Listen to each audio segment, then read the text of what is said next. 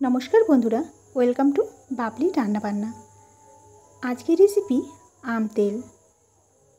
তার জন্য এখানে নিয়ে নিয়েছি আম। কাঁচা আমগুলোকে আমি ঠিক এভাবেই কেটে নিয়েছি। আমের মধ্যে নুন আর হলুদের গুঁড়ো দিয়ে ভালো করে আমটাকে এখন মেখে নেব। আর এই সময় আম তেলটা সবাই বাড়িতে বাড়িতে বানিয়ে রাখে।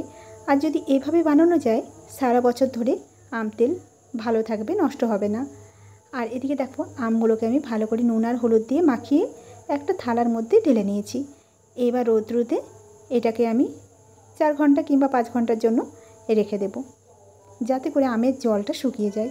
এই যে নুন আর হলুদ মাখিয়ে রেখেছিলাম, সেই দেখো জলটা ভালো মতো শুকিয়ে গেছে। আমগুলো এখন শুকনো হয়ে গেছে।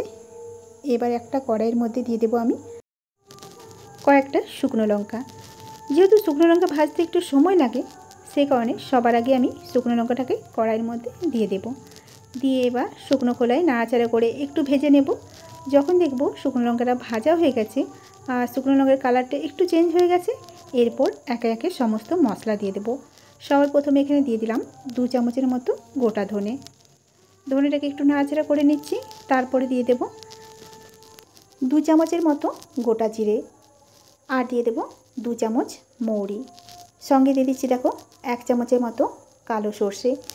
এবার সব মশলাগুলোকে একসাথে আমি ভেজে নেব। মশলা যখন প্রায় ভাজা হয়ে আসবে, তখন দিয়ে দেব এক চামচের মতো মেথি। মেথিটা দেওয়ার পরও আরও ভালো করে মশলাটাকে এভাবেই ভেজে নেব। মশলাটা যখন ভাজা হয়ে আসবে, মশলার কালারটা একটু চেঞ্জ হয়ে যাবে, এবার আমি নামিয়ে রেখে দেব। একটা থালার মধ্যে আমি এভাবেই নামিয়ে রেখেছি। একটু ঠান্ডা করে নেব, তারপরে মশলাটাকে আমি গুঁড়ো করে নেব। অন্যদিকে কড়াই বসিয়ে দিয়েছি গ্যাসে। কড়াইয়ের মধ্যে দিয়ে দেব বেশ খানিকটা সর্ষের তেল। তেলটাকে দিয়ে তেলটাকে একটু গরম করে নেব। তারপরে তেলের মধ্যে দিয়ে দেবো আমি দুটো শুকনো লঙ্কা। ফোড়নের জন্য এখানে দুটো শুকনো লঙ্কা দিলাম আর দিয়ে দেবো এখানে দু চামচের মতো পাঁচ ফোড়ন। তেলের মধ্যে এই পাঁচ ফোড়ন শুকনো লঙ্কাটা দিয়ে তেলটাকে একটু ফুটিয়ে নেব। আর সঙ্গে পাঁচফোড়নটাও সুন্দরভাবে ভাজা হয়ে যাবে। এতে করে আম তেলের গন্ধটা ভীষণই সুন্দর হয়। আর এভাবে যদি তোমরা আম তেল বানাও, সারা বছর পর্যন্ত আম তেল ভালো থাকবে, নষ্ট হবে না। মাঝে মধ্যে একটু রোদে দিলেই চলবে। এখন দেখো কিছুক্ষণ ধরে আমি তেলটাকে একটু ফুটিয়ে নিয়েছি। এবার তেলটাকে নামিয়ে ঠান্ডা করে নেব। অন্যদিকে যে মশলাটাকে আমি ভেজে রেখেছিলাম, সেটাকে দেখো গুঁড়ো করে নিয়েছি। একটা বাটির মধ্যে দিয়ে দিলাম মশলাটা। তারপর দিয়ে দিলাম হাফ চামচ হলুদের গুঁড়ো। দিয়ে দিচ্ছি আমি কাশ্মীর লঙ্কার গুঁড়ো দু চামচ। এতে করে কালারটা ভীষণই সুন্দর হয়। তারপর দিয়ে দিচ্ছি স্বাদ মতো এখানে নুন। এবার যে পাঁচফোড়নের যে তেলটা করে রেখেছিলাম, সেই তেলটা আমি এখানে দিয়ে দেব। কিছুটা তেল আমি এভাবেই উঠিয়ে দিয়ে এখন এই তেলের সাথে মশলাটাকে ভালো মতো করে মিশিয়ে নিতে হবে। যাতে মশলাটা ভালো মতো মাখা হয়ে যায়, সেইভাবেই আমি তেলটাকে এখানে দিয়েছি। কিছুক্ষণ ধরে এভাবে নেড়ে চেড়ে আমি মশলাটাকে ভালো মতো করে মেখে নিয়েছি। এরপর এর মধ্যে দিয়ে দিচ্ছি আগে থেকে যে আমগুলো শুকিয়ে রেখেছিলাম, সেই শুকনো করা আমগুলো। তবে খেয়াল রাখতে হবে, আমগুলোর মধ্যে যেন একটুও জল না থাকে, তাহলে কিন্তু আচার নষ্ট হয়ে যাওয়ার ভয় থাকে। আমগুলো দেখো ভালো মতো যেহেতু শুকিয়ে নিয়েছি, একটুও জল নেই, এখন ভালো মতো করে একটা হাতা করে আমি এইভাবে মশলার সাথে আমগুলোকে মিশিয়ে নিতে হবে। ভালো মতো করে মিশিয়ে নিতে হবে যাতে প্রত্যেকটা আমের সাথে মশলা ভালো মতো মিশে যায়।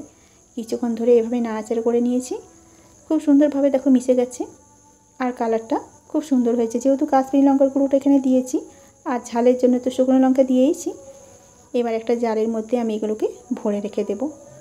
এভাবে তোমরা বানিয়ে দেখবে। প্রত্যেকটা বাড়িতেই জানি এই সময় আম তেল বানানো হয়, তবে আমি যেভাবে বানাই সেটাই আজকে তোমাদের সাথে শেয়ার করলাম।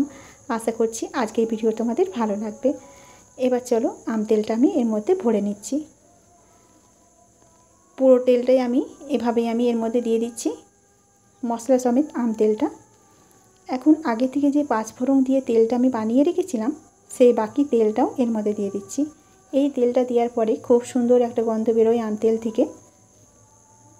যেহেতু তেলের পরিমাণটা একটু কম হচ্ছে, আমি আবারও আমি এখানে কিছুটা কাঁচা সর্ষের তেল দিয়ে দিলাম, যাতে করে আমগুলো ভালো মতো তেলের মধ্যে ডুবে যায়।